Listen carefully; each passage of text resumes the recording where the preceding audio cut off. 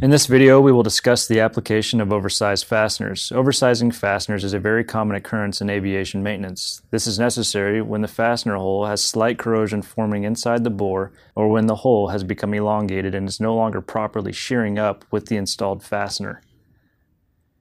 The term oversizing can refer to either one, going to the next fastener size, which would be 1 32nd inch upsizing, or two, going to a 1 64th inch oversize. This is often relevant to blind fasteners, which changes the part number of the fastener, but the grip length and the diameter remain the same. One of the first indications that a fastener has begun to work is a smoking rivet. This is indicated by a trail of aluminum oxide dust streaming back from the rivet along with the airstream.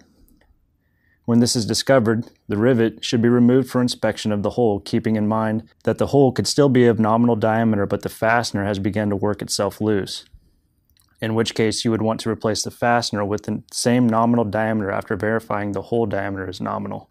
If a fastener is found to be loose or smoking in an engine inlet, the fastener should be removed immediately to prevent engine ingestion.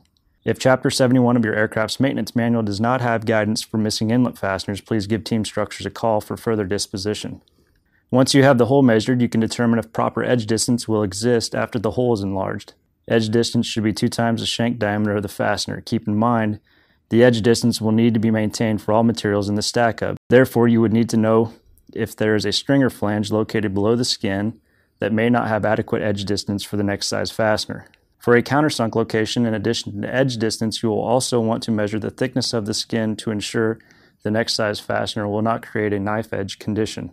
These guidelines are recommended for common sheet stack-ups of material. Any locations containing primary structural elements such as spar caps or fittings should be reviewed by team structures before oversizing.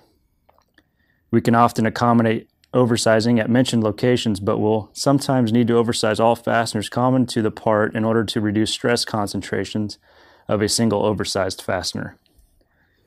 If you have any questions on oversizing fasteners, please contact Team Structures at 316 517 6061 or email us at csstructures at txtav.com.